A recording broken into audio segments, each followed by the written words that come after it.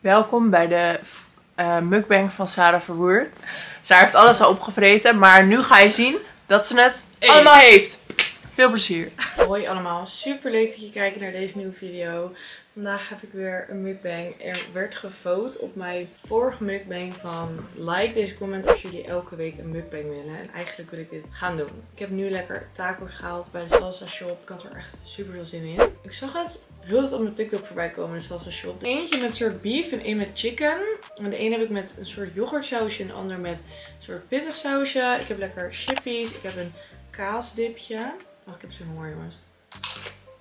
Mmm pittig dipje, salsa, iets, limoen. En ik ga dus ondertussen heel veel van jullie vragen beantwoorden. Um, ik heb echt heel veel vragen binnengekregen en heel erg leuk, want ik krijg ook heel vaak vragen hierover. En ik kan dat niet echt makkelijk beantwoorden op een, onder een TikTok of onder een YouTube video. Dus het leek me leuk om dat in een mukbang te doen. Het zijn uh, dus voornamelijk vragen over uh, mijn verhuizing naar Amsterdam. Mijn leven in Amsterdam. Mijn baan nu in Amsterdam. Mijn influencerleven, wat natuurlijk ook mijn baan is. Maar ik heb ook ergens dat ik erg werk op kantoor. Natuurlijk super vaak over kantoor en over dit en dat in weekvlogs. En ik snap dat jullie soms denken van Waar heb je het allemaal over? Welk kantoor? Wat, wat doe je allemaal? Dus we gaan lekker al die vragen beantwoorden. En ik ga aanvallen, want ik heb zo een honger. Dan gaan we gewoon lekker beginnen bij een chicken taco. Oh mijn god. Het ziet er zo goed uit. Ik ga even een limoentje erop doen. Oh my god. Ik heb zoveel zin hierin. Ik hou echt van limoen. En ik heb de corn wraps. Of ja, je dat? Taco's. Dit zijn de chicken. En natuurlijk kaassausje. Kijk. Oh my god. Let's take a bite.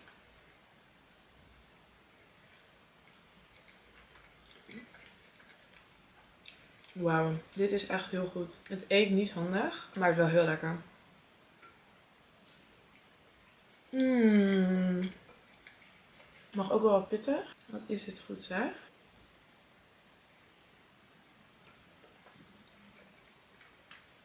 Ik weet echt niet hoe dit op ga eten. Of in ieder geval zomermaag. Nou, misschien is het handig om te beginnen met de vraag. Wat houdt je baan eigenlijk precies in? Dus wat moet je allemaal doen? Mijn baan is letterlijk, mijn titel is zeg maar campaign en talent manager. Dus wat houdt het in? Ik manage eigenlijk talenten die bij ons zitten. Ik werk bij een influencer agency. En daar zit ik zelf ook als influencer. Dus een influencer agency regelt eigenlijk alle samenwerkingen voor de influencer. Die houdt gewoon de mailbox in de gaten en ja, onderhandelt over campagnes, over samenwerkingen, over dat allemaal. Even in de kaassaus. Daarnaast ben ik dus ook campaign manager. En dat houdt in dat ik grotere campagnes opzet voor ons als influencer agency. Dan benader ik bijvoorbeeld lounge underwear, zeg maar wat. En dan ga ik een grote campagne opzetten voor meerdere talenten. Dan ga ik daar mee in gesprek. Het zijn weer grote campagnes. En anders is het echt Telemensing is echt alleen puur voor het talent wat um, in haar mailbox binnenkomt. En dat ga ik dan beantwoorden en regelen. Dus dat is wat ik doe. Dat doe ik drie dagen. Heel lekker die chicken. Echt heel lekker. Het valt wel helemaal uit elkaar. Maar wat vind ik het leukste aan mijn baan?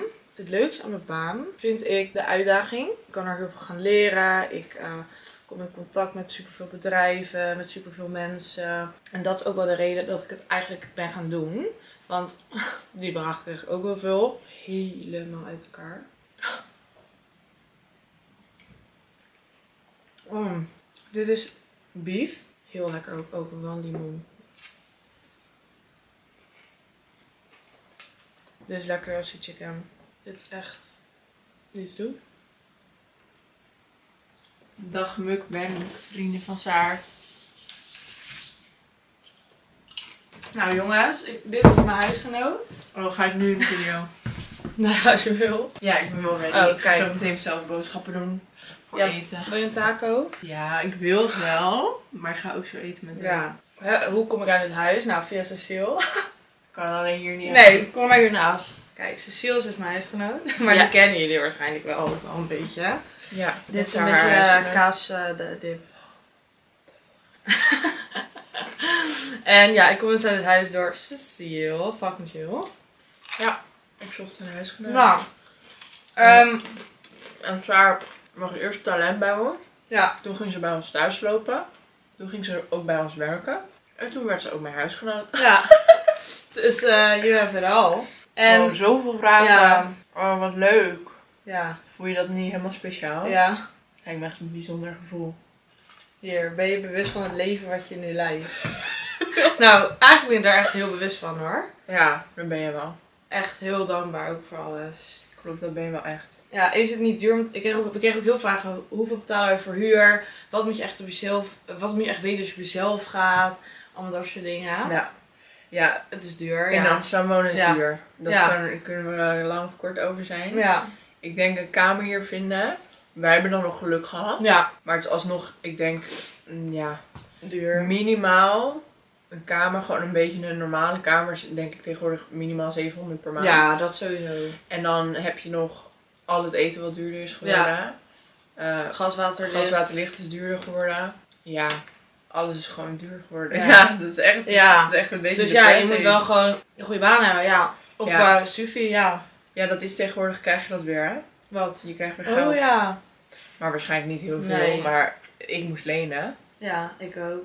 Nou ja, ik heb niet geleend, maar ik ben na, na mijn studie pas op mezelf gaan wonen. Wat verdien je per maand? Ja, heel veel wat verdien je per maand. Nou ja, dat, heb ik, dat antwoord heb ik letterlijk niet, want ik heb niet één salaris wat ik verdien. Nee, klopt. Maar ik kreeg ook dus heel veel vragen. Ik heb net een beetje uitgelegd wat ik dus bij jullie doe, als, eh, want ik werk natuurlijk ook voor. Ja. Nog ook een paar vragen over stage. Ja, Heel kom leuk. maar. Kom Ja. maar, alsjeblieft. Kom maar. Nee, ehm we, we zoeken altijd stagiairs. Dus Ja. ehm, je hebt volgens mij twee keer per jaar een soort ronde. Dat Ja. je, dat, dat, ja, je nieuwe...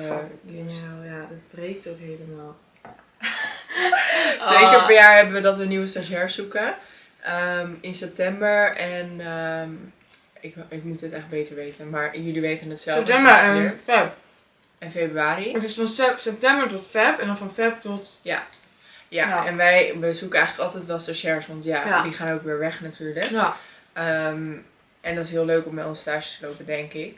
Ja. Tenminste, ja. We krijgen altijd heel vaak... eh, Nou, Ja, we krijgen wel, we krijgen wel ook vaak mailtjes. Ja. Ehm, maar eigenlijk ja, nooit genoeg. Ik zou zeggen, als je wil stage lopen bij ons, wat houdt een stage in? Nou, je kan eigenlijk van alles doen. We hebben Het altijd... ligt eraan welk Ja. tak je zit. Het is vaak een richting. Kijk, als jij communicatie of marketing studeert, dan zit je bij ons wel goed. Of creative business of ehm, Branding. branding. Iets bij de Amfi bijvoorbeeld. Nu is een eh, meisje die bij ons heel veel voor social media doet. Die, Ja. die studeert, die doet Amfi en dan als richting branding. Ehm, dus je moet gewoon veel affiniteit hebben met fashion, gewoon social media, influencing, dat soort dingen. Wat de meeste mensen van ja, jouw volgers wel hebben. Want het is gewoon een leeftijd waar je natuurlijk ook in zit. Mhm. Ehm, en ja, het is heel divers werk. Je kan talenten gaan managen, je kan ehm, de social media gaan helpen, je kan helpen met projectmanagement, eh, samenwerkingen opzetten. We gaan heel veel naar eventjes toe, er moet heel veel gepland worden, Campagnes bedenken. campagnes bedenken, giftings opzetten, merken benaderen. Ja. Het gaat echt eh, alle kanten op. Ja. Het is wel lekker dippie. Ja. Wat voor tacos heb je? En dat heb je natuurlijk allemaal Ja. verteld aan hun. Kip en met beef. God. Alleen een zo beetje zo rendang-achtig biefje. Ja. Ja, ja. Mm. Ja. Wat is je favoriete samenwerking? Ik denk of Naked of Look Fantastic. Ja. Look Fantastic heb gewoon alles. Beauty. Ja. Elke maand. En met Naked heb ik gewoon fucking veel leuke kleding elke maand. Dus Ja, klopt. dat vind ik echt leuks. Ja, hoe gaat het met je? Ja, goed. Serieus Ja. vraag. Nee, maar het gaat oprecht echt heel goed. Ja, dus dat zo'n gevoel heb ik ook wel. Ja, gewoon echt zo blij hier in Amsterdam. En met werk en met gewoon influence. Ja, het, is gewoon, het valt allemaal gewoon zo samen. Ik vind het gewoon helemaal leuk. En ik word gewoon alweer een stuk blijer nu de zon schijnt. ik merk dat gewoon meteen echt. dat mijn moed gewoon meteen omhoog gaat als het zo'n dag is. Gewoon, Dat heb ik ook echt. Voel het me zo maakt goed. zoveel uit. ja. Het wordt ook alleen maar warmer, gelukkig. Ja. Ja, even klaar mee. Ah, zo leuk, al die vragen. Nou, hoe heb je Maggie leren kennen? Via werk. Via ons, inderdaad. Dus Ja, heel leuk. dat zei ik net ook. ehm, iemand zei wat het leukste aan je baan? Ik zei het leukste vind ik dat ik, dat zei ik uitdagingen, maar ook dat ik heel veel contact kom met heel veel mensen. Dus je bouwt Ja. echt een leuk netwerk op. Gewoon. Ja. En gewoon, ja, je komt meer uit je comfortzone en dat is ook een vraag. Van waarom doe ik werk naast influencen? Puur om gewoon uit die bubbel te komen. Ik kan hier elke dag alleen thuis gaan zitten en eh zou ik ook van kunnen leven. Maar Ja. ja, waar kom je dan verder mee? Echt nergens. Nee, je bouwt wel echt wat op. Ja, werkervaring en ja, het is gewoon leuk. Anders ja, zit ook maar hier. Ja.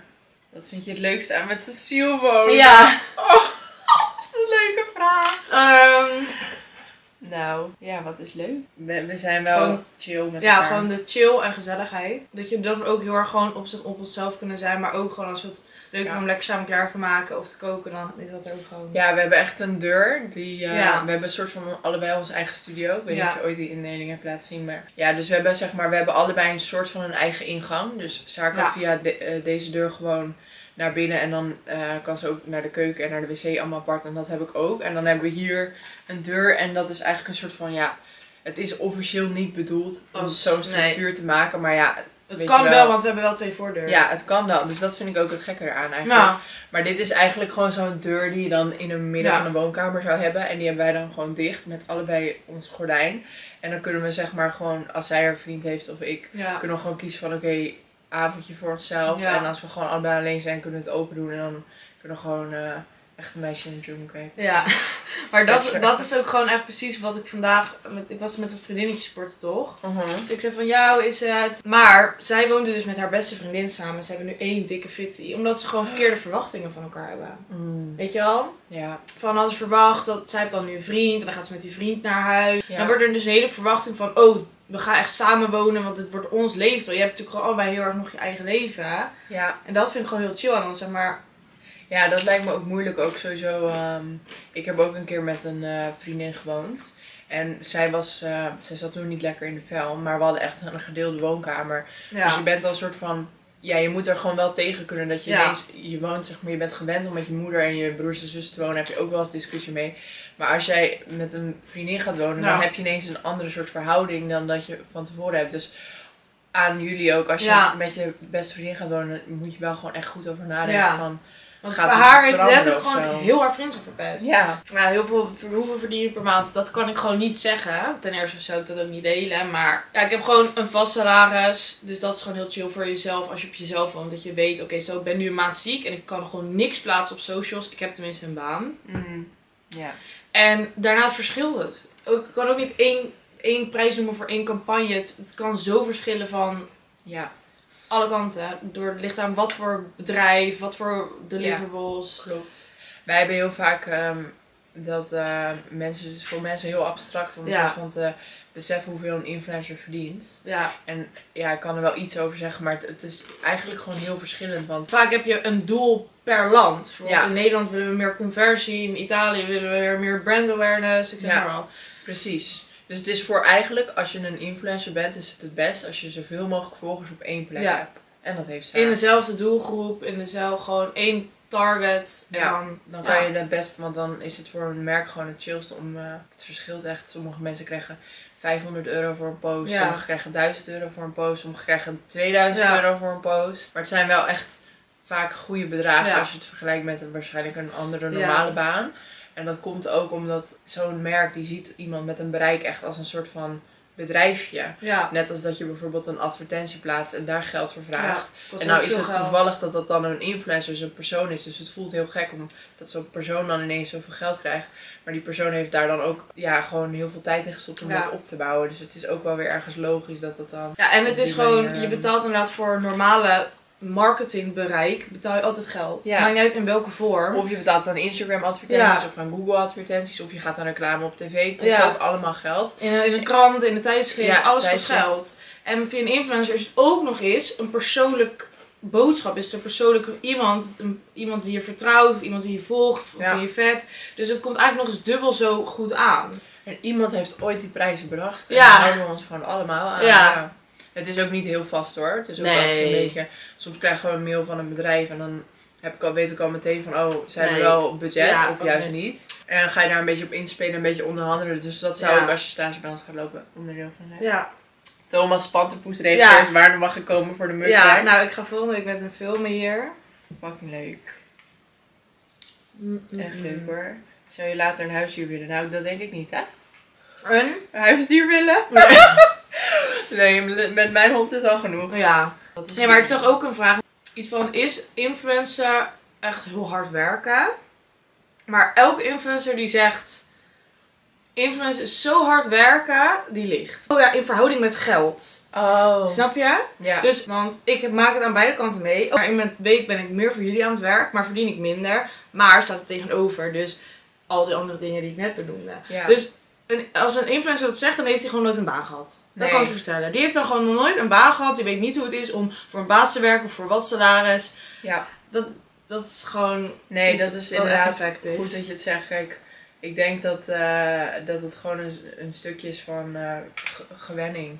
Als je gewoon gewend bent om heel hard ergens corporate te werken en Ja. je wordt ineens een influencer en dan ga je op je eigen gemakje, in je eigen tempo Ja, een shopblog opnemen en je krijgt ook nog eens allemaal leuke Ja. kleren. Het is natuurlijk ook een beetje een droombaan. ja, Als je er ook nog eens geld voor krijgt. ja. Dus ik denk wel dat wel echt gewoon... Zeg maar, het is fucking hard werken. Ik, ik ken waarschijnlijk mensen die elke dag een video plaatsen. Het is fucking hard werken. Maar je krijgt er ook tegen veel geld voor. Dus ja, vooral als je het elke dag ja. Elke dag een video. Dat is zo'n Gio. bijvoorbeeld, Ja, die ik zeg niet dat die mensen niet hard werken, maar het in het geld wat ze krijgen, is dat niet te vergelijken met een normale baan. Dat Nee. is gewoon niet te vergelijken. Klopt.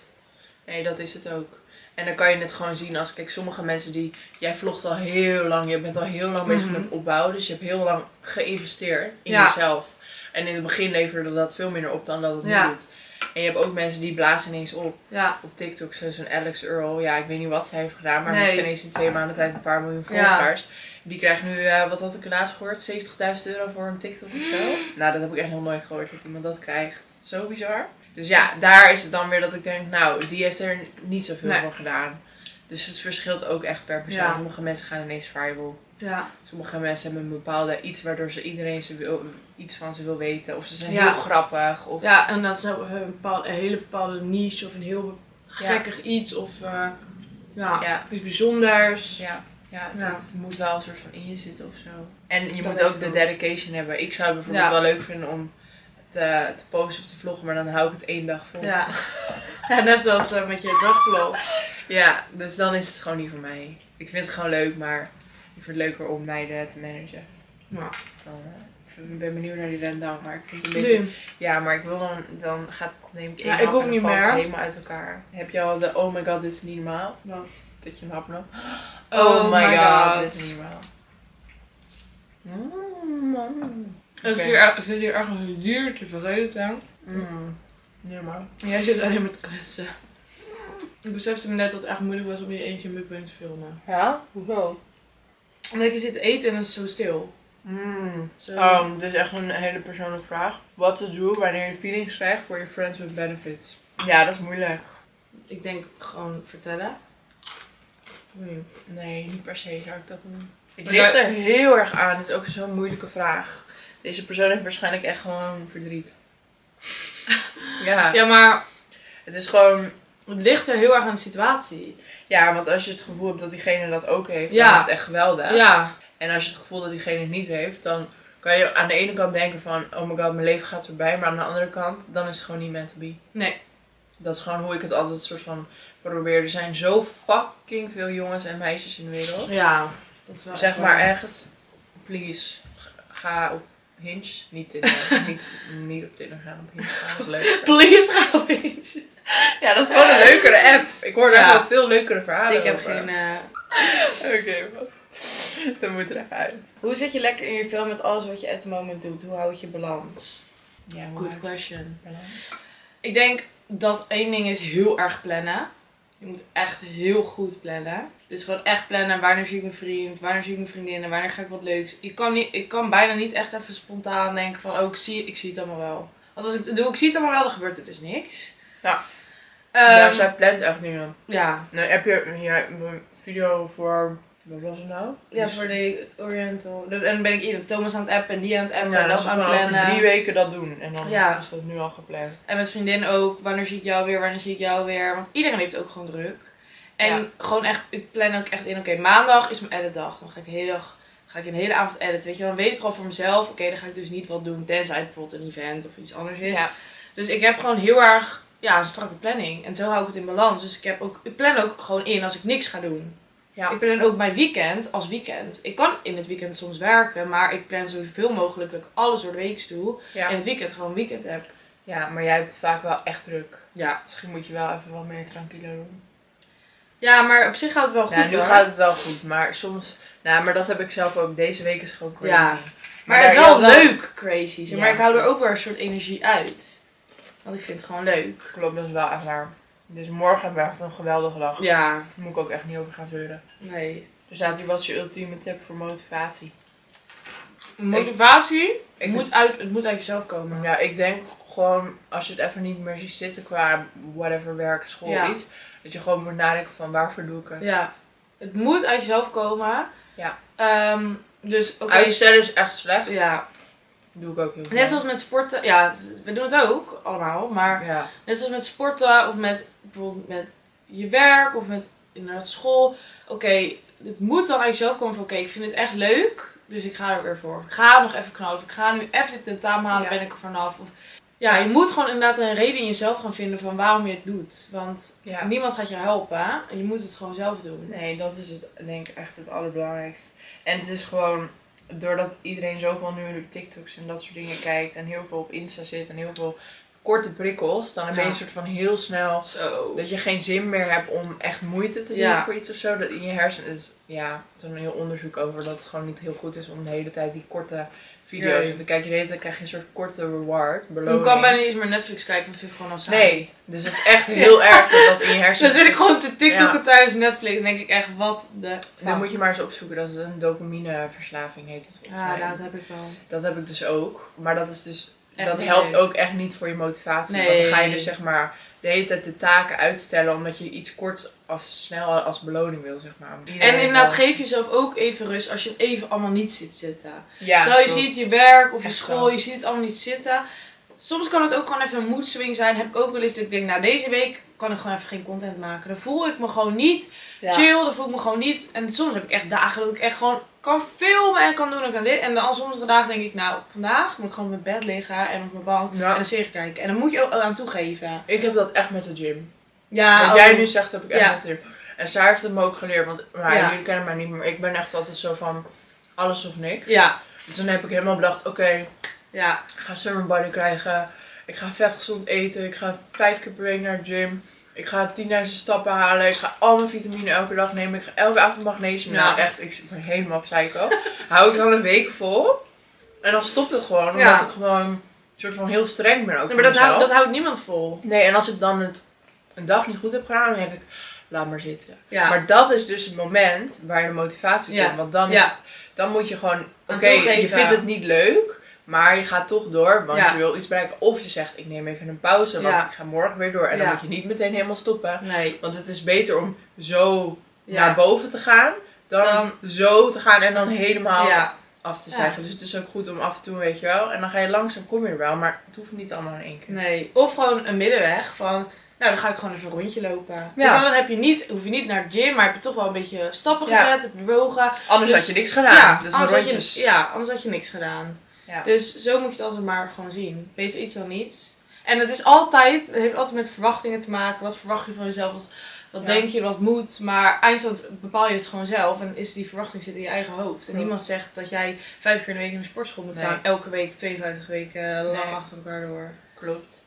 En dat is het ook. Soms je ziet niet na twee weken resultaat van iets. Nee. En dan kan je een soort van denken van, oh, weet je wel, dit heb ik vaak ook. ja. Maar als ik kijk naar de long run van, oh, ik ben nu bijvoorbeeld al Ja. drie maanden echt steady aan het sporten. Ik zie gewoon echt resultaat. Ja. En dat heb ik nog nooit eerder gezien. Omdat ik het nu een keertje niet opgeef. ja, dat gaan we er niet in. Nee, ik heb één keer na jouw video een DM gekregen van iemand. Echt? Ja, dat vond ik dan helemaal leuk. Oh. Zo'n antwoord geven. Ja.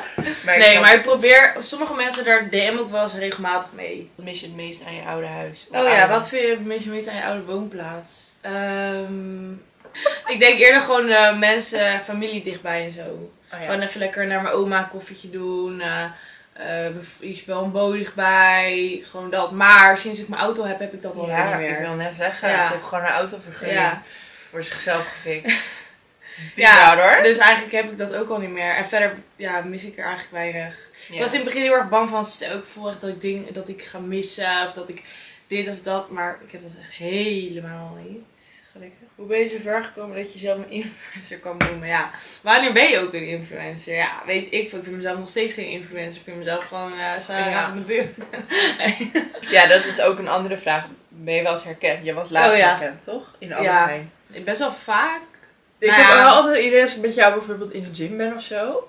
Ja. Dat dan, dan loopt er iemand langs ons en die gaat dan te lang naar ons kijken. En dan denk ik, want dat heb ik normaal nooit. Nee. Dus of je hebt gewoon een fucking grote reet, wat ook waar is. Maar denk toch van, nou, Nee. misschien herkent ze je of zo. je, dat wordt, denk ik dan. je wordt zoveel vaker herkend dan, dan, je, dan je weet. Ja, want ik zou bijvoorbeeld als ik eh, een influencer Ja. sowieso, ik ben niet echt starstruck, maar Nee. meer van, ik zou niet eh, zeggen van, oh, je Oh, bent toch die nee. influencer, dat zou ik echt nooit, Nee. tenzij het, Dat gebeurt zeg maar eens in de, in de duizend misschien. En die, dus eigenlijk word je echt honderd keer zo meer, veel meer misschien meer als mensen dronken zijn. Ja. Oh ja. Dan sowieso wel. met uitgaan en zo. Ja. Maar bijvoorbeeld letterlijk bij mijn appie hier om de hoek werd ik door die zelfscanmeid herkend. Oh ja, toen ging ze je controleren, toch? Ja. Maar weet je wel, in je appie had ik nooit verwacht dat mensen mij daar zouden herkennen. Maar misschien loopt het er wel veel vaker rond dat mensen denken van hé, hey, dat is Sarah. Maar ja, hoe vaak kom je inderdaad wel iemand tegen dat je denkt, hé, hey, dat is die. En dan, oké, boeien.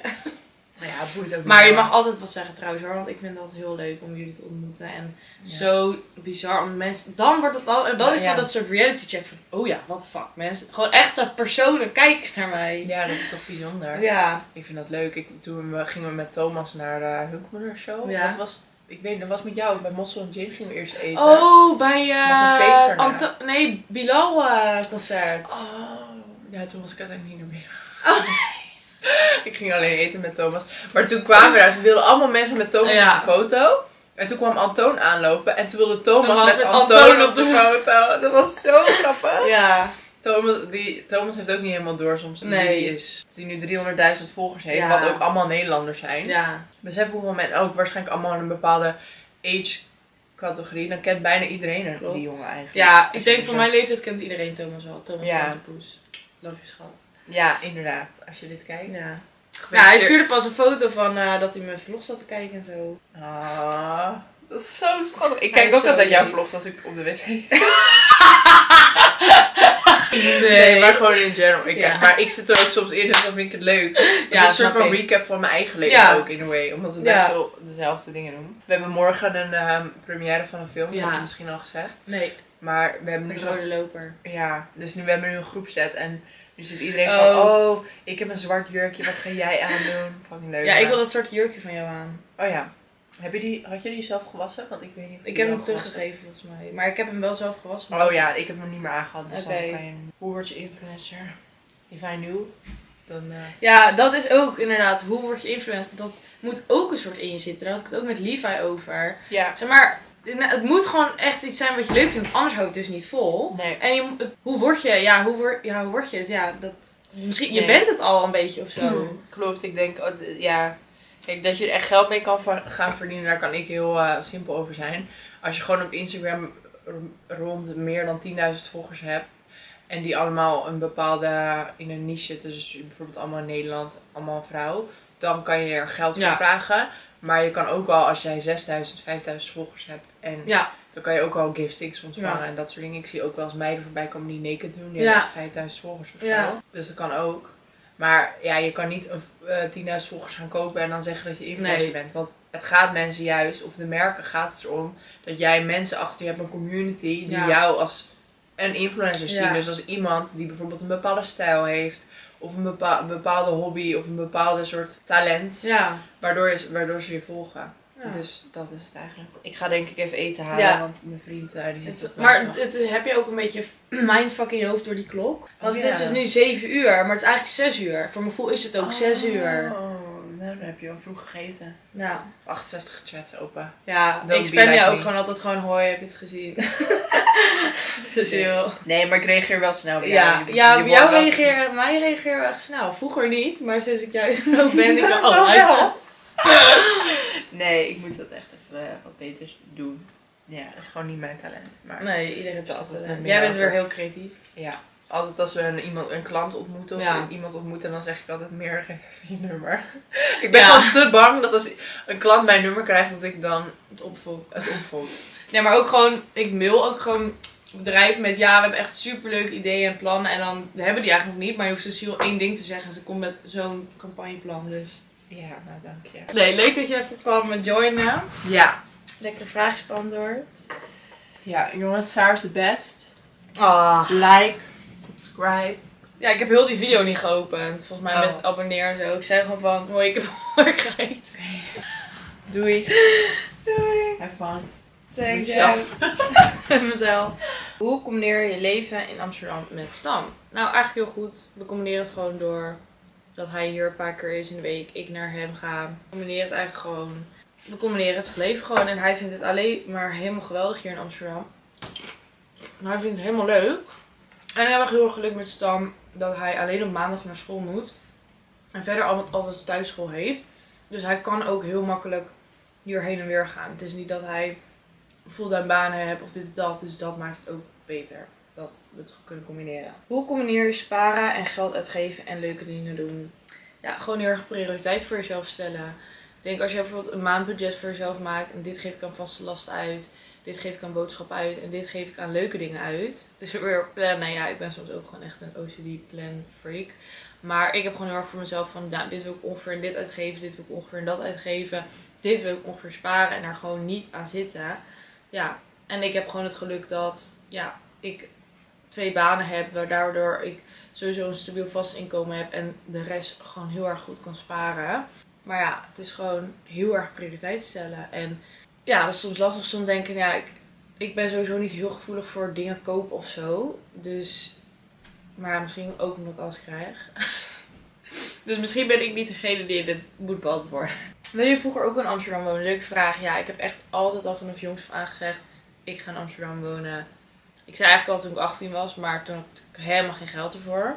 Dus ja, nu op mijn 21ste is perfect. Hoe gaat dus mijn stand? Nou, echt super goed eigenlijk. Echt, ja, we zijn nu 2,5 jaar samen. Ik zei het ook in de vorige week, vroeg het gaat zo goed. Het is gewoon, we hebben elkaar gewoon helemaal gevonden. En we zijn gewoon echt beste vrienden, maar ook gewoon helemaal verliefd nog. En ja, wil je meer daarover horen, moet je even de weekvlog checken, want daar vertel ik er best wel veel over. Zijn er mensen die je bent kwijtgeraakt door het leven wat je nu hebt? Nou, ik ben wel gewoon wat vriendinnen, nou niet vriendinnen kwijtgeraakt, maar wel vriendinnen die ik minder zie. Doordat ik nu in Amsterdam woon. Maar ja, dat is ook logisch en heb ik ook een soort zelf voor gekozen. Dus ja, Anne en Nina bijvoorbeeld, die wonen nog in Nieuwkoop. Sofie en Bo, Isabelle en Bo. En ik probeer hun zoveel mogelijk te zien. En probeer zoveel mogelijk te plannen. En ik vind ook gewoon niet dat vriendschap afhangt van hoe vaak je elkaar ziet. Ehm, ik weet gewoon dat sommige meiden altijd forever, maakt niet uit hoe laat het is, ze voor me klaar zijn als ik ze zou bellen. Dus ben niet echt kwijtgeraakt, maar wel gewoon dat je ze minder ziet. Maar daar heb ik natuurlijk gewoon zelf voor gekozen. En het is logisch, want je wonen niet, meer een seconde van elkaar vandaan. Zou ik rond kunnen komen van alleen mijn influence leven? Nou, dat zei ik net natuurlijk al een beetje. Ja, zou kunnen. Zou ik natuurlijk wel minder kunnen sparen, want hoe meer je verdient, hoe meer je kan sparen. Dat is logisch. Ehm, maar ik zou het dus niet willen, omdat ik dan ja, elke dag hier thuis zit, saai in mijn eentje, in mijn veilige bubbel.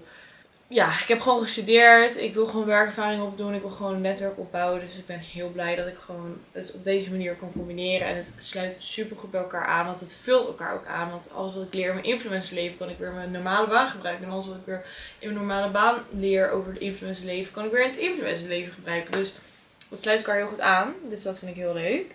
Echt zoveel vragen over hoeveel ik verdien. Hoeveel verdien ik met influencer. Hoeveel verdien ik alle bij elkaar. Hoeveel verdien ik bij mijn normale baan. Maar ja, is het raar om je maandsalaris te zeggen? I don't know.